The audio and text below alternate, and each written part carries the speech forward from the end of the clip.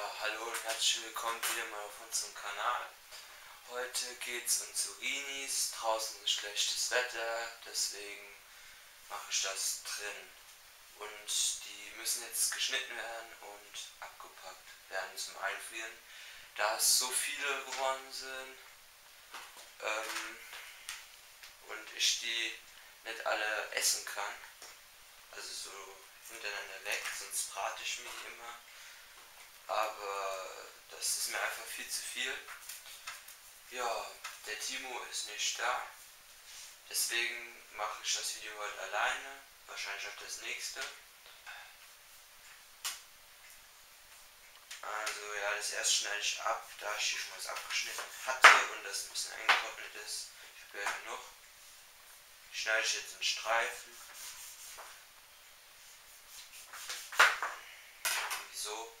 Ähm, des Weiteren habe ich jetzt auch schon Kohlrabis geerntet. Der ist auch schon gut von der Größe. Und Gurke und Tomate. Äh, ja, bei den Tomaten habe ich das Problem, die eine Hälfte, die ich gekauft habe, die sind wunderbar.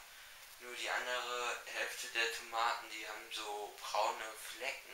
Also einmal die Frucht, die hat so braune Flecken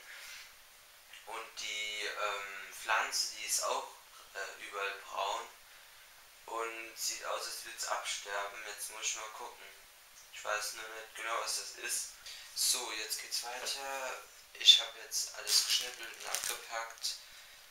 Bis auf hier die hier. Da hatte ich jetzt einmal keine Lust mehr zu und so viel brauche ich eigentlich gar nicht. Ich versuche jetzt so oft wie möglich zu Ringen zu braten, genau wie jedes Stück. Das mache ich jetzt zuerst dann noch fertig. Ähm, ja, das Stück hier, die ist mir runtergefallen. Ich schmeiße jetzt weg, weil ich so viel Zeug habe. Ich weiß nicht, was ich damit anfangen soll. Hier drei Packen, die kann ich mal wiegen. 800 Gramm. Dann ähm, hier wieder 800 hier ein Kilogramm. Ja, ich denke mal, das reicht schon auf jeden Fall mal fürs Erste, da die Tiefkultur so schon richtig voll ist, durch die ganzen Hasen und den anderen äh, Gemüse und Kram, der da drin ist. Und deswegen werde ich jetzt mal sehen, die nächsten Tage etwas oder die nächsten zwei Wochen noch einen Hasen zu essen oder zwei, wie auch immer. Und dessen ein bisschen leerer wird und äh, dass ich Gemüse so halt Zucchini da einfrieren kann und halt dann auch die Masthähnchen, wenn die fertig sind. Die werden nämlich dann auch jetzt in zwei Wochen geschlachtet. Und davon behalte ich fünf für mich. Und ja, die müssen dann da rein. Und die verbrauchen ja auch ordentlich Platz. Naja, über die Masthähnchen, da mache ich auch noch ein Video.